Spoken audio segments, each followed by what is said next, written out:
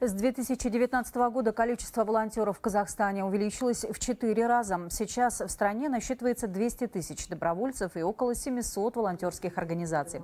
Цифры прозвучали на одной из пленарных сессий форума в Астане. Там же отметили, что теперь статус и стаж волонтеров будут учитывать при приеме на работу. Волонтерство сейчас э, сыграет важную роль э, в нашей жизни. Э, всем людям нужна помощь, а именно волонтеры постоянно помогают другим людям.